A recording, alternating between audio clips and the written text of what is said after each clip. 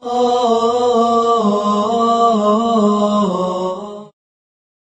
one may ask if a person is being mindful of Allah subhanahu wa ta'ala and Allah has begun to love him. Because we know Allah subhanahu wa ta'ala loves a person who's mindful of Allah.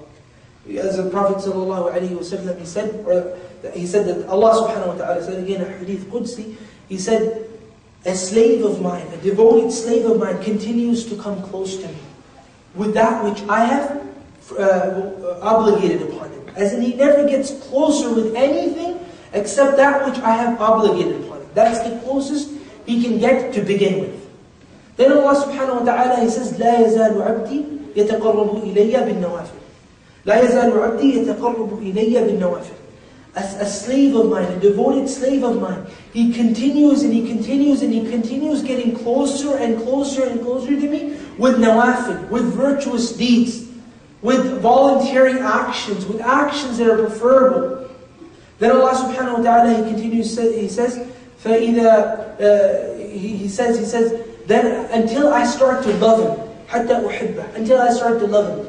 فإذا أحببته كنت سمعه الذي يسمع به وبصره الذي يبصر به ورجله التي يمشي بها ويده التي يبطش بها ولئن سألني لأعطينه ولئن استعاذني لأعيذنه as the Prophet ﷺ he said uh, that Allah subhanahu wa ta'ala says he says when I begin to love this slave of mine when I begin to love this slave of mine then and only then and I, am I the eyes that he sees with, the ears that he hears with, the mouth that he speaks with, the hands that he, he strikes with, the legs that he walks with.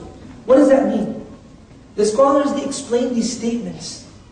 They explain these statements to mean the fact that if a person is mindful to that degree of Allah subhanahu wa ta'ala, Allah protects him himself from any evil, from the evil of the eye. Allah takes that limb, the hands, and protects them from being, being uh, from striking that which is haram. Allah takes those hands and doesn't let those hands do that which is evil.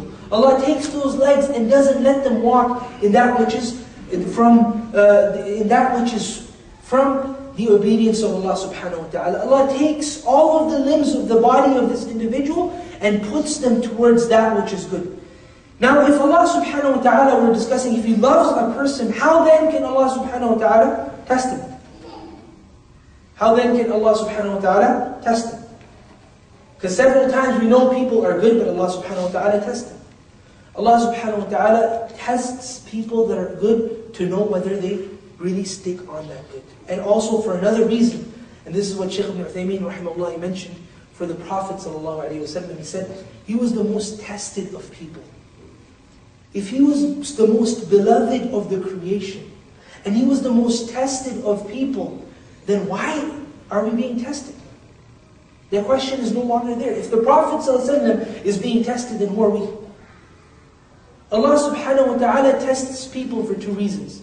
The first of those two reasons is to really realize whether this person is true. Allah knows in His vast knowledge whether this person is true to himself or not. But Allah wants to show to the people whether this person was true or not. And the second reason is because Allah knows from His slave, لا يكلف الله نفسا إلا وسعها. Allah knows from His slave that he can handle this test of Allah Ta'ala if he can through the patience that this person will have after the calamity befalls him, though he's a muttaqi, though he's a God-fearing person of Allah, though he's a beloved person to Allah subhanahu wa ta'ala, after the patience that he will have, nothing but good will come out of that. Because patience increases the person in status.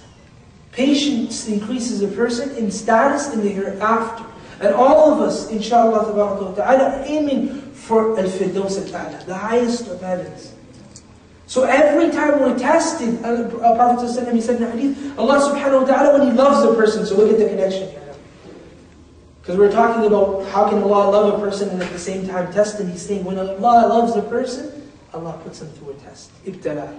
When Allah subhanahu wa ta'ala loves a person, he puts him through that test. So it's okay to be tested, even if we're God-fearing. If we're God-fearing, whether we are, we've been promised that we'll be tested. Did you not think that you will say, I believe, and at the same time you will not be tested? And yes, you will be tested, and the people before you were tested, just like you were. Just so Allah subhanahu wa ta'ala may show to the people who is true and who is not. وَلَا يَعْلَمَنَّ الْكَاذِبِينَ And Allah subhanahu wa ta'ala knows that we're those people that are true.